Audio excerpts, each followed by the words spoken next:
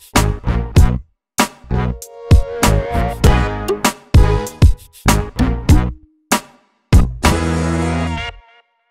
there, welcome to Big V TV. Great to have you with us. Division 1 men, 18 rounds done and dusted. We are headed to finals. It's a top 8, and you've only got to think about the way the AFL final series works. That's what we're dealing with here. Steve O, start taking us through the So results. that means, unfortunately, in 16th position doesn't make the uh, final. have they right? missed out, Campbell? Just, 20. I think Yeah. we just missed out just Only by a couple of games. of our game on Saturday. Head to head, maybe as well. I'll tell you what I've been impressed with though, with Campbell. They're two and twenty. They finish on the bottom. They're headed to Division 2 Mhm. right? Yep. One thing I've been impressed with.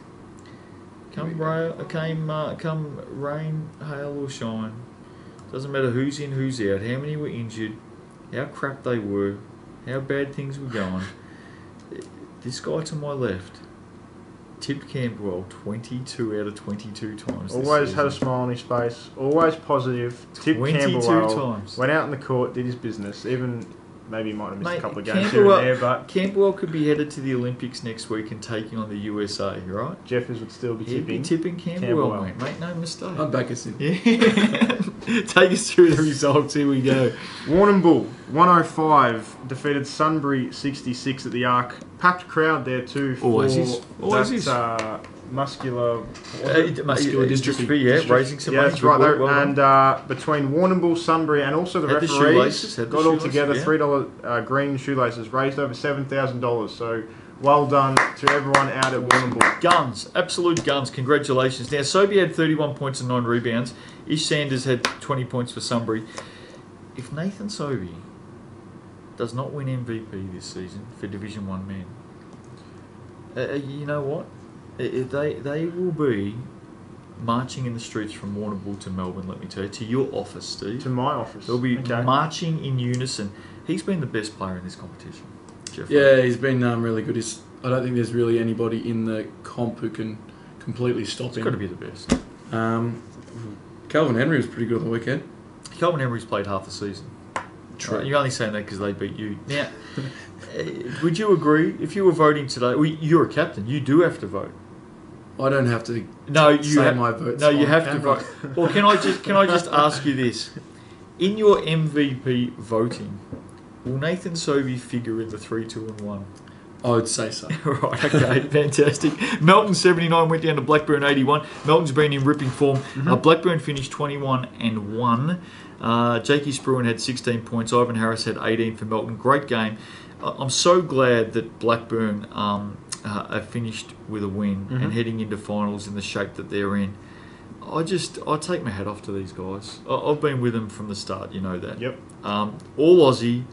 Paul Langford and the crew have done an amazing job with this group, and nothing against the other seven finalists.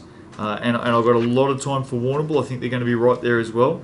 But I sure as hell hope from here uh, that we're talking about Blackburn winning the big one this season because they have been nothing short of sensational. You're not wrong. I, Put, I, it, put I- it simply, hey, you're not wrong because I, I, I hardly ever am, Steve. it's quite usually pull out there. But It's um, not often. Certainly take nothing away from the other seven teams Warrnambool, Casey Melton, Latrobe Shep, Sunbury, and Mildura because they all deserve to be there, but Blackburn do deserve to be at the top of the pile. Melton's right the dark horse for me, Right. by the way. Um, and uh, to be honest, I think Blackburn for Blackburn, this is the game that they needed to have in preparation for that, that final series because they've been winning games quite comfortably. Just They've been just rotating through. Hit out. They were down in the fourth quarter in this game from memory, and Blackburn etched out a win. It's something they need. One of the best performances I've seen Division One men for a long, long time, Jeffo. Yeah, a really well-rounded team, and they're going to be um, tough in any final situation. said to you last week, how many have been on the blue carpet this season, Steve? They're a team. Yeah, not many. They're a team. None, I don't think. Uh, Latrobe City, uh, 78 defeated Keysy, 69. Uh, Adam Slawinski had 23 for Keysy. Coleman had 23 for Latrobe City. Lenny Lemons, one of our favourites, Lenny. Uh, Lenny had 21 points, 21 rebounds, automatic. Automatic. blue carpet. Lenny Lemons, you're a bloody star. Latrobe City headed to the finals. Yeah, Latrobe City. Um, they, I think they were a lot better than what a lot of teams thought they would be. Are they at home this week, Um, Latrobe coming City? to the city.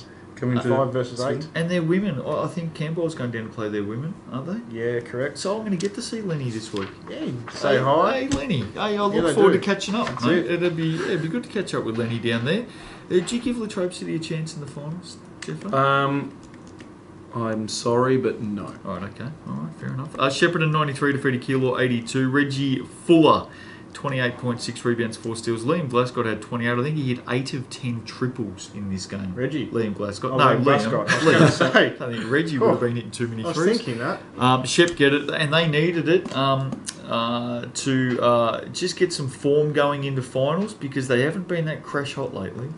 Uh, well, they needed to win their two games to make Which finals, and so they came up against some handy opposition, but they got the job done, and therefore they deserve to be there. Chelsea 76 defeated Melbourne University 72. Corey Stando for 24 points, 15 rebounds.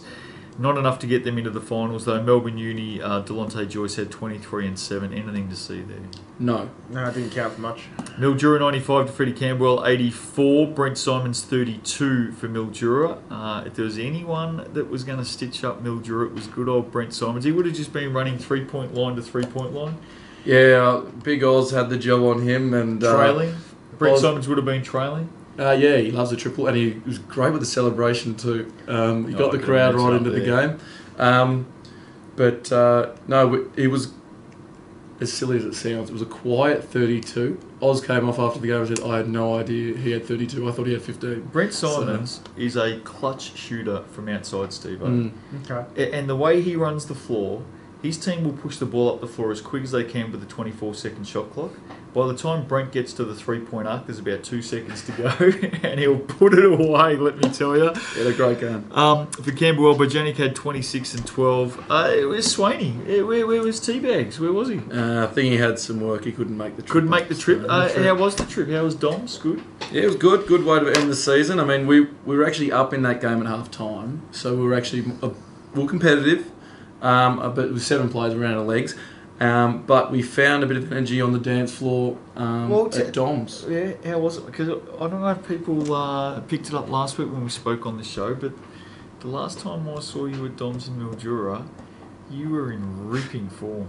Well, And it wasn't on the dance floor, let me I've- tell you. It's nice, quiet, dark corner. I think I'm six years older, and uh, Is that how long ago it was? I Seriously? think so. I think I was 19 last time. And I so- still remember it every time we catch up. Yeah, thanks. that's sad, isn't it?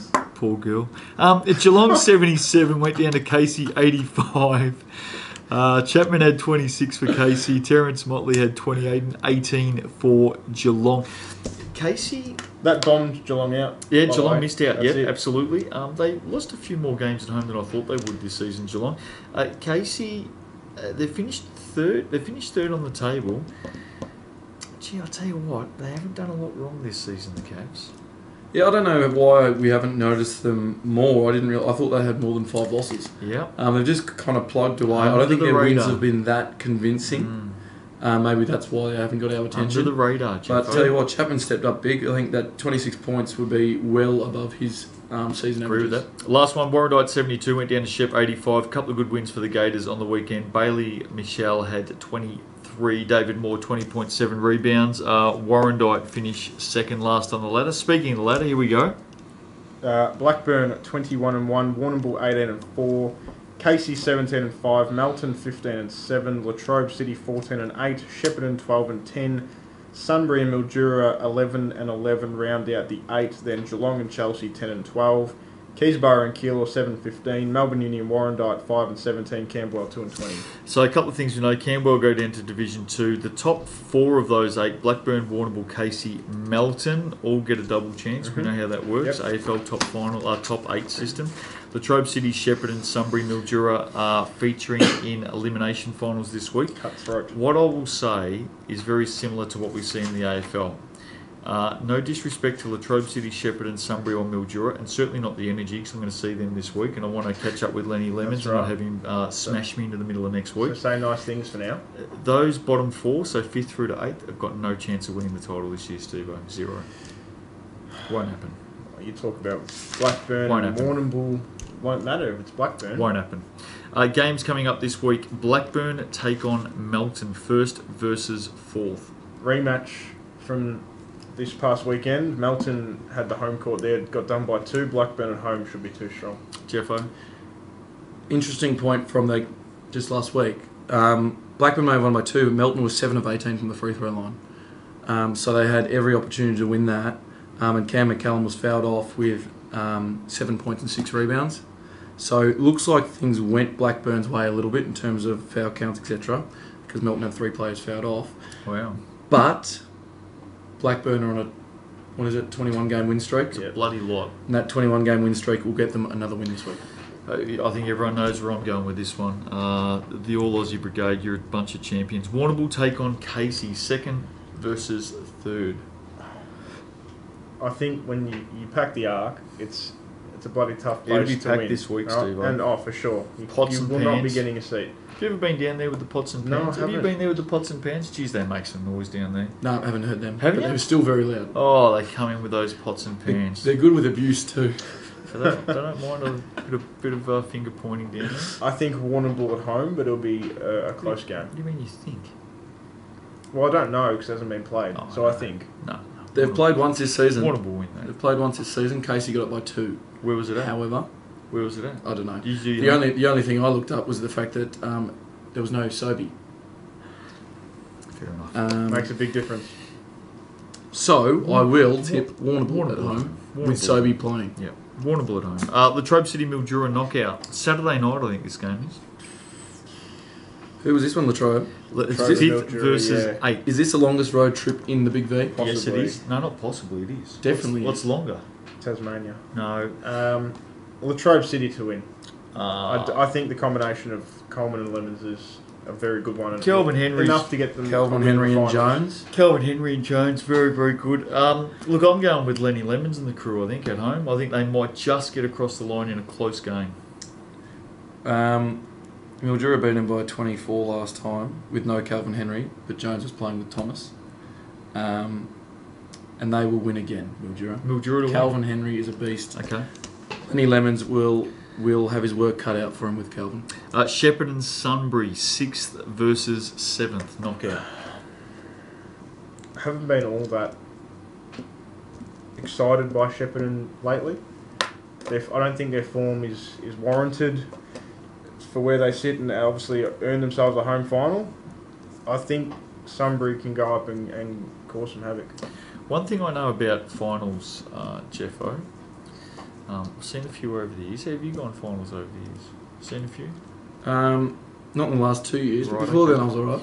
One thing I know about finals in the Big V is if you're on the road to a country team, which I happen to be this week, unfortunately, but if you're on the road to a country team, the whole bloody town comes out. It is very, very hard to win on the road regionally come finals time in the Big V. And for that reason and that reason alone, mm-hmm. uh, because I think both of these teams have some good parts to their game, and I think they have some inconsistent parts to their game. But for the reason that it's in Shepparton this week, Stevo, Yep. I'm going with the Gators to win. And I am with you. All right, there we go. Uh, D1 men, are four finals on the go this week. We are going to only have six teams with us come this time next week. Uh, it's a great final series. Don't forget, if you want to know how it works, the final eight, it's exactly like the AFL final eight. We'll be back to talk about it next week on Big VTV.